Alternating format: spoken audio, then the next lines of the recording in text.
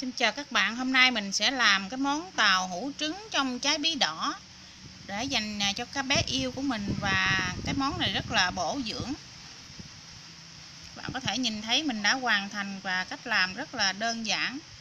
Đây là à, tàu hũ à, được trưng ở trong mấy trái bí đỏ và tàu hũ trứng nha. Cái món này thì các bé yêu lúc nào cũng rất là thích, không cần phải ép các bé yêu của mình chỉ cần làm xong là các bé sẽ tự động và thích cái món này. Và giờ thì mình sẽ vào mình làm cái món này nha.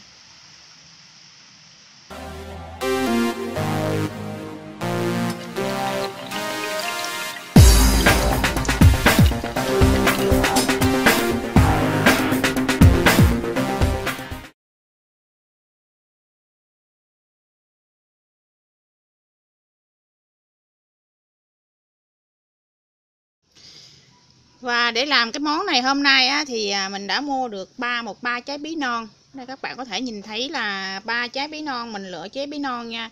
Cái món này á, mình làm bí non và nhỏ như vậy nó sẽ không có bị ngán. Nếu mình làm trong một cái trái bí bự á, thì nó sẽ rất là ngán. Và đặc biệt là hai quả trứng gà. Đây các bạn có thể nhìn thấy là hai quả trứng gà có thể dùng gà ta thì nó sẽ ngon hơn và cái món này các bạn có thể nấu thêm canh bí để để lên trên ờ, canh bông bí. Các bạn có thể để nấu bông bí canh bông bí để lên thì nó cũng rất là tuyệt vời. Nhưng mình ờ, hôm nay thì mình sẽ hướng dẫn chỉ làm trong trái bí này thôi. Và một ít bột năng. Bột năng thì mình sẽ dùng là hai muỗng canh bột năng và một uh, muỗng đường đường và muối. Một ít đường và ít muối. Đường và muối này á thì các bạn tùy theo mình nêm nếm cho cái món tàu hũ của mình nó ngon hay không mình thích ngọt hay là thích có vị mặn thì mình sẽ nêm vào đây. Tùy vào cái cái cái khẩu vị của mỗi người nha. Và không thể thiếu đó là đậu. Đây là đậu nành. Đậu nành mình đã ngâm được từ hôm qua. Đậu nành thì mình sẽ dùng là 100g đậu nành. 100g đậu nành này mình đã ngâm được từ hôm qua rồi. Các bạn có thể nhìn thấy nó nở gấp đôi. Giờ thì mình sẽ đi xay và lấy nước. Nếu các bạn không ờ, có thời gian thì mình có thể là dùng ờ, sữa đậu nành bạn có thể mua sữa đậu nành về và mình sẽ dùng là 200 220 ml sữa đậu nành tương đương với một bịch sữa tươi. Ở đây mình làm nhà để đảm bảo cho sức khỏe và ngon hơn thì mình sẽ xây phần đậu nành này để à, nấu thành sữa đậu nành luôn. Rồi bây giờ phần đầu tiên mình để làm cái món này cho đẹp á, thì mình sẽ có một cái cây dao nhọn và nhỏ như vậy. Mình sẽ làm theo tùy thích. Nếu các bạn à, thích thì mình có thể khoét một vòng tròn. Nhưng ở đây thì mình sẽ làm một cái đường cho nó đẹp hơn. Mình dùng cái cái cái cái, cái phần nhọn của cái dao này mình găm xuống đây.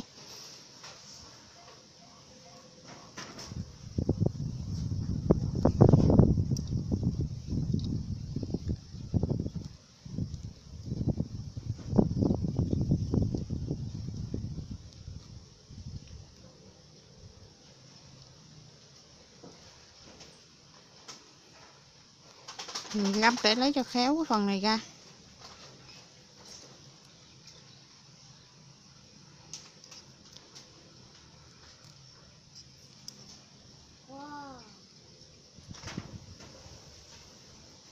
Rồi, mình có thể mình găm thành à, đều hết qua tới bên thì mình từ từ tách ra. Các bạn có thể từ từ mình sẽ tách lấy cái phần này ra giờ mình đã làm được hai hai phần trái rồi các bạn thấy nè. Giờ ở đây thì để làm dễ hơn nữa thì mình sẽ sọt vào đây và mình khoét cái lục cái lỗ cho nó tròn. Cái lỗ tròn thì nó dễ hơn. Để mình lấy cái à, cái này ra.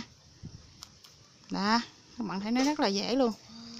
Nè không có gì khó hết ha. Rất đẹp luôn. Quá đẹp à. giờ thì mình sẽ có thể thấy là mình đã làm hoàn thành nè bây giờ mà tiếp theo á, mình sẽ dùng cái muỗng. Đây đây là một cái muỗng để mình ờ, lấy cái ờ, cái phần trong đây ra.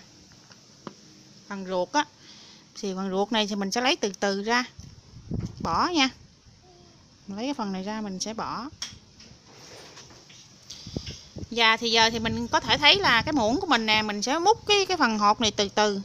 Rồi mình bỏ cái phần hột này có thể thấy là mình bỏ phần hột này nha. Mình hút lấy ra từ từ rất là dễ mà không có gì khó luôn ha. Giờ thì các bạn có thể nhìn thấy mình đã lấy hoàn toàn à, cái phần ruột ở trong rồi. Cái gì cái bí này á, là cái bí non nên mình sẽ rửa sạch sẽ. Khi làm xong mình có thể dùng luôn được cả cái vỏ bí này. Và để cái hạt bí non á mình sẽ dùng để xay đậu luôn đậu giờ mình đã cho vào trong một cái máy xay sinh tố và cái phần mà hạt bí non lúc nãy mình lấy ra mình sẽ cho một nửa thôi để mình lấy cái mùi thơm. Mình lấy cái mùi thơm của hạt bí. Các bạn thấy đây, hạt bí à, bí non của mình nè. Nếu hạt bí già thì mình sẽ không có làm được nha. Giờ mình cho cái hạt bí non vào. Mình cho một nửa thôi, không có cho nhiều. Thôi mình bỏ, còn một nửa này mình sẽ đem bỏ. Và mình xay nhuyễn ra thì mình sẽ cho thêm cái phần à, nước vào đây. Và giờ sau khi mà cái hỗn hợp của mình đã xay xong thì mình sẽ lượt qua một cái rây mình xay nó rất là mịn mình sẽ lượt qua một cái rây nha. Sau khi đổ hỗn hợp vô đây mình sẽ dùng cái muỗng mình cào để cho cái cái nước nó xuống. Lạng lấy cái xác lại. Wow. phần hỗn hợp của mình sau khi đã xay và dắt lấy nước như thế này mình sẽ bỏ cái phần cái mình bỏ phần cái nha. Giờ mình sẽ bỏ qua một bên.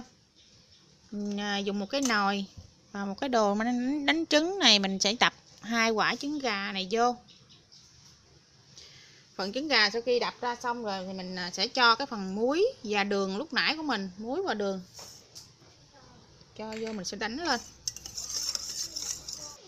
Sau khi đánh tan lên thì mình sẽ cho luôn cái phần bột này từ từ và làm cho tan cái phần bột này trong trứng luôn trứng và bột của mình sau khi đã đánh tan thì mình sẽ cho luôn cái phần sữa này vào.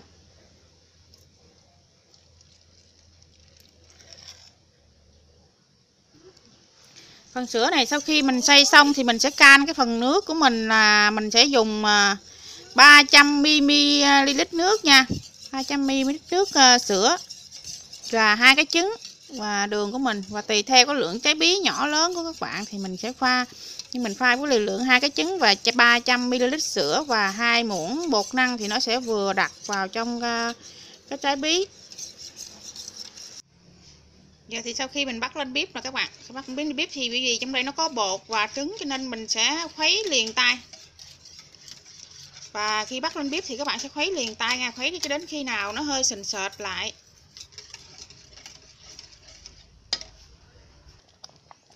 Giờ thì cái hỗn hợp của mình nó vừa sình sệt nè các bạn có nhìn thấy mình nhìn thấy là nó sình sệt như thế này thì mình sẽ khuấy cho nó sệt lại một tí để cho nó chín. Để khi mình hấp bí á, trái bí nó vừa chín tới luôn. Giờ thì phần ba trái bí của mình đã khui lỗ và mình cho ra ngoài một cái dĩa. Bắt đầu mình từ từ mình sẽ múc cái hỗn hợp lúc nãy của mình nó xà vô. Đây là cái hỗn hợp này của mình nè. Mình cho nó sành sệt như thế này tiếp tục mình sẽ múc phần này đổ từ từ cho nó khéo. Để cho nó lọ không có bị à, lọt ra ngoài. Tiếp theo mình sẽ bỏ ba trái này luôn. Rồi, giờ thì cái phần cùi của mình lúc nãy nè, mình sẽ đậy lên. Mình đậy lên.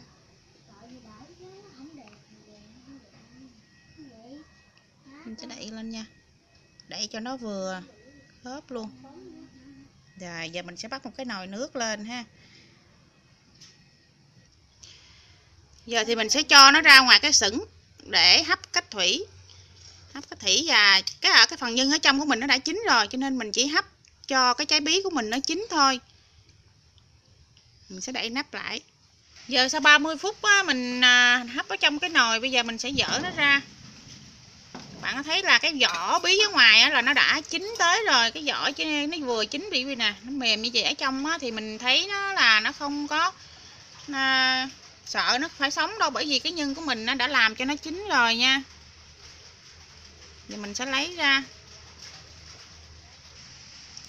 Rồi giờ sau khi mình đã lấy ra khỏi à, à, cái nồi rồi các bạn có dễ nhìn mà bây giờ mình có thể mình nhìn thấy là ở trong nó vừa đặt lại ha mình dở cái vỏ bí của mình ra ở trong thì nó vừa đặt lại nè và cái trái bí của mình thì nó vẫn còn nguyên và xanh. Và đặc biệt á, cái à, món bí này á, là cái vỏ của nó nó non quý non á, cho nên cái vỏ của nó rất là à, mềm. Mình sẽ dùng luôn cái vỏ bí rất là ngon. Giờ thì mình sẽ dùng cái cây dao để mà mình à, cắt ra làm hai xem cái thành phẩm của mình nó như thế nào. Xin chào các bạn hôm nay mình sẽ làm cái món tàu hũ trứng trong trái bí đỏ. Bây giờ mình đã hoàn thành và nó rất là nóng. Mình sẽ lấy ra cho các bạn xem ha. Cái món này các bác yêu của, bé yêu của nhà mình nó sẽ rất là thích. Các bạn có thể nhìn thấy nó vừa trắng vừa thơm. Mình dở ra nó rất là thơm, cái mùi bí. Và mình sẽ vào trong và xem cái cách làm cái món này nha. Rồi, bây giờ khi cái món này đã hoàn thành rồi, mình à, sẽ dùng một cái muỗng mình múc mình có thể múc cắn luôn cái trái bí này hoặc là cắt ra làm hai. Bây giờ thì mình múc thử để mình ờ, xem món của mình nó như thế nào nha. Mình sẽ dùng thử đi. Wow, nó rất là nóng. Uhm. nó có cái mùi thơm của tàu hũ các bạn. Biết rồi cái mùi thơm của tàu hũ. Và đặc biệt là lúc trong lúc mình xay á, nó có cái, mình có xay cái à, cái hột bí á. Cho nên nó sẽ rất là thơm cái mùi bí, tàu hũ mà nó sẽ thơm cái mùi bí và cái món này mình có thể à, dùng luôn cả cái trái này. Cái trái này nó rất là non. Có thể thấy cái trái này nó rất là non nè. Và giờ mình sẽ cắt luôn cái miếng phần bí này. À, các bạn có thể thấy này mình cắt luôn cái phần bí này luôn và vừa trứng và vừa tàu hũ ở trong mình sẽ dùng nha. Uhm cái phần bí của mình nó, nó rất là mềm. Và tàu hũ cũng vậy. Và nó nó thơm thơm. Chứ còn cộng với cái vị ngọt mà mình niêm trong uh, trái bí á. Các bạn hãy thử đi nó cũng không thua về gì với cái bánh lăng đâu nha. Các bé nhà mình nó sẽ rất là thích. Và nếu à, thấy thích kênh của Hiếu Quỳnh á, thì à, các bạn đừng quên like đăng ký và chia sẻ cho bạn bè cùng xem nha cảm ơn các bạn đã ủng hộ mình luôn. Chúc cho các bạn luôn có những món ăn ngon gia đình và cho các bé yêu và đặc biệt rất bổ dưỡng và an toàn cho sức khỏe nữa. Hẹn gặp lại.